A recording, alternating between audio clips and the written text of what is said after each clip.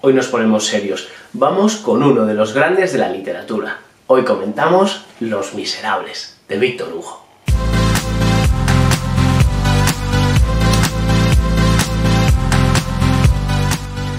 Bienvenido al Faro de los Libros. Soy Roque y hoy vamos a comentar Los Miserables de Víctor Hugo. Un libro que me hace especial ilusión. No es la primera gran novela que comentamos en el canal, pero es un libro que me gusta muchísimo.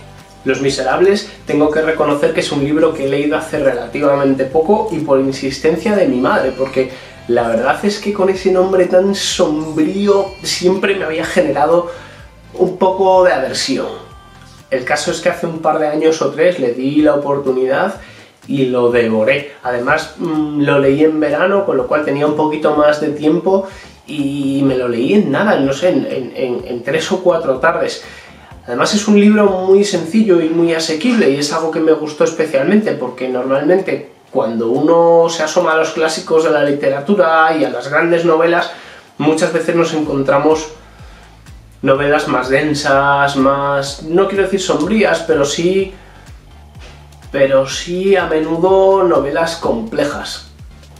Y esta novela no digo que no lo sea, porque lo es y mucho, es una novela muy profunda, pero a la vez es una novela fácil.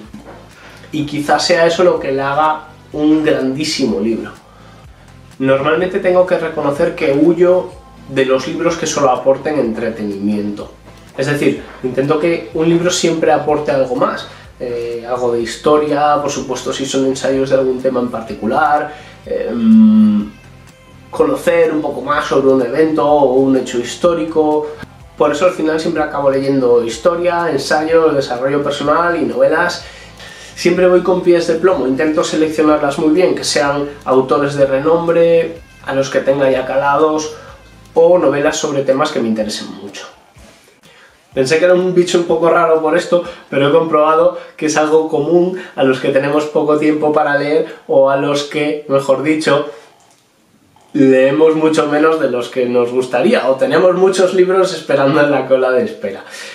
Eh, pues bien, lo que quiero decir es que si eres una de esas personas y perteneces al club de los que no quieres perder el tiempo, te puedo decir que esta novela merece francamente la pena aparte de la calidad literaria incuestionable en este libro y del entretenimiento, este es uno de esos libros que yo diría que son atemporales. Uno de esos que estás leyendo y enseguida te das cuenta de que tienes en las manos un libro con mayúsculas. Yo normalmente lo identifico y siempre me viene a la mente Crimen y Castigo por ello. Esos libros que te acercan un poco más a la naturaleza humana. Uno de esos libros que describen los personajes con una profundidad que enseguida te das cuenta de la calidad literaria de la, obra. En este caso, como digo, la profundidad de la caracterización de los personajes, el contexto histórico, las historias que se entrelazan, tiene un papel muy relevante y hace que no solo sea una novela buenísima, que lo es, sino que es una novela que aporta muchísimo más, en mi opinión, que ese mero entretenimiento de leer. Los Miserables de Víctor Hugo fue publicada en 1862 y es una de las novelas más grandes del siglo XIX. Víctor Hugo fue poeta, dramaturgo, novelista y confesó que para escribir Los Miserables se inspiró en Vidocq, un criminal francés redimido que posteriormente fundó la Policía Nacional Francesa. Y para situar el contexto histórico, evidentemente, eh, echó la vista atrás a la historia de su país sobre la novela, no quiero destriparos absolutamente nada, ni hacer ningún spoiler ni cosas raras, así que me voy a limitar a centrar el hilo argumental de la historia. Los Miserables comienza con el personaje central de la novela, Jean Valjean, recién salido de prisión después de 19 años por robar un pedazo de pan, un mendrugo de pan para dar de comer a su familia. Su pasado de ex convicto le acompaña allá donde va y enseguida, fruto del odio, de la frustración y de un error, vuelve a caer en el hurto. Con tan buena suerte que da con otro de los personajes, ya no os voy a contar nada más, que gracias a una acción particular supone el detonante o el desenlace del resto de la novela, que es francamente buena una vez más. Aquí hago un parón y os traigo a Jaime Altozano, que tiene un vídeo súper interesante haciendo una comparativa entre una fuga de Bach y el libro de los miserables, o en su caso el musical, pero en cualquier caso la historia de los miserables. Cuidado, porque si no habéis leído el libro, en el vídeo destriba totalmente la trama. En cualquier caso, os lo recomiendo. Si no os importa saber qué es lo que ha pasado en, el libro o en la historia, os dejo el vídeo por ahí o en la descripción. Y os invito a verlo después de terminar este, porque es francamente interesante. Jaime es de las personas con pensamiento lateral más agudo que he visto y me encanta me encantó la comparativa que hace entre la estructura de una fuga y la historia de los miserables. En la estructura de una fuga tienes diferentes voces que se van sucediendo y tienes una transversal que da consistencia, coherencia a toda la obra.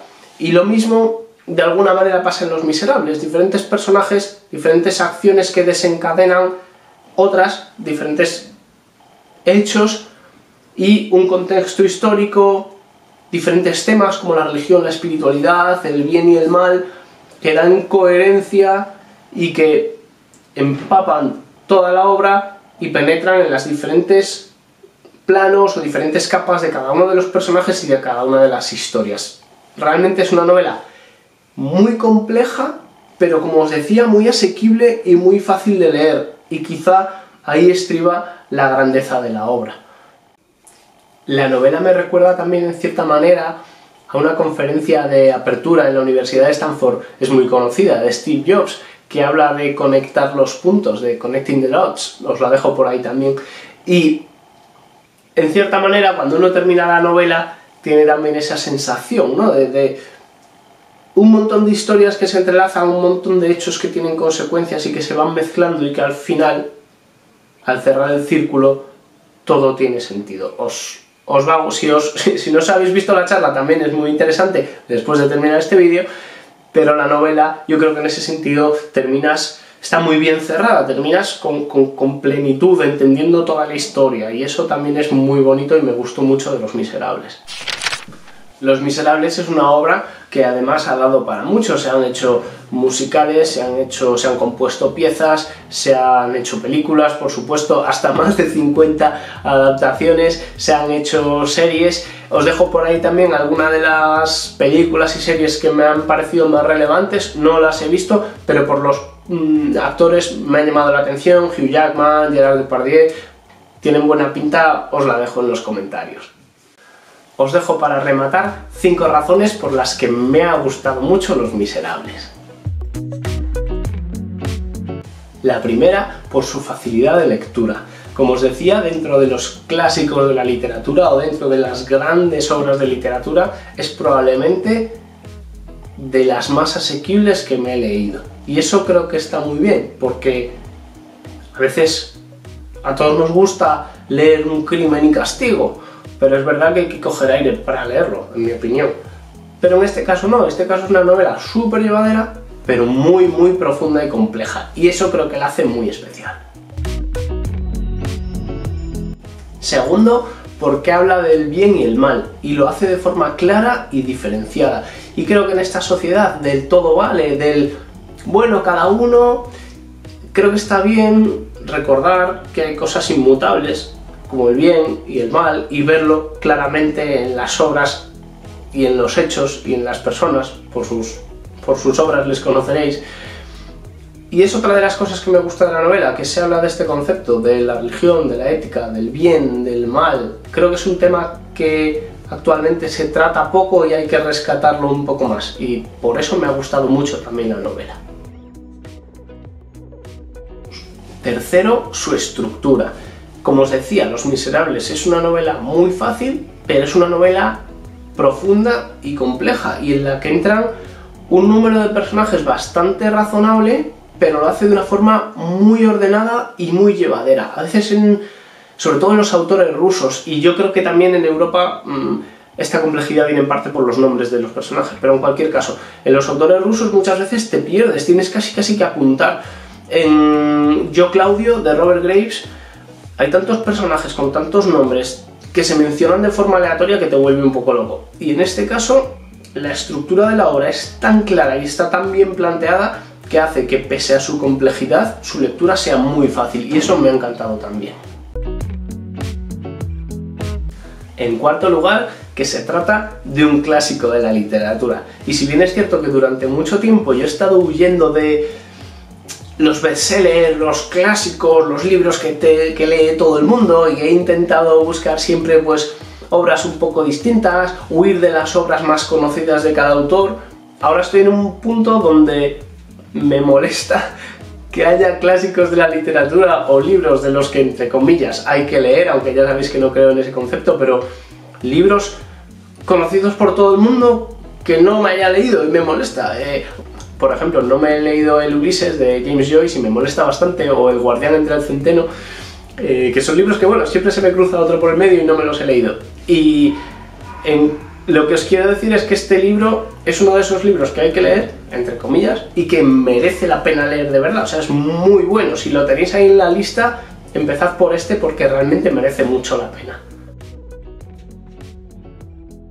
Y por último, y en quinto lugar, me ha gustado muchísimo Los Miserables por la simbología de los personajes. Y si os apetece que hagamos un vídeo sobre este tema en particular, lo hacemos. No quiero entrar ahora en los personajes porque no os quiero destripar el libro, pero otra de las cosas que me gusta mucho es que se puede identificar en cada uno de los personajes diferentes elementos, como decirlo, de la vida. Pues se puede identificar el bien, se puede identificar el mal, se puede identificar a Dios, se puede bueno, diferente simbología bastante profunda que de forma recurrente en puntos particulares de la novela, a través de los personajes, se va mostrando. Y eso, una vez más, creo que es otro de los aspectos que le da muchísima profundidad a la novela, que pueden pasar desapercibidos, pero que en una segunda lectura o, o, en una lectura más detenida sí podemos encontrar. Y es otra de las cosas que me gusta de los libros, cuando en una segunda tercera lectura encuentras cosas nuevas y eso lo hace francamente interesante, con lo cual con eso cierro el círculo, la simbología de los personajes de los miserables. Y yo creo que lo dejamos aquí. Para cerrar, quiero hacerlo con una reflexión de Víctor Hugo. Mientras haya en la tierra ignorancia y miseria, libros como este podrían no ser inútiles. Cuantísima razón. Muchas gracias por seguir al faro de los libros y nos vemos en próximos vídeos.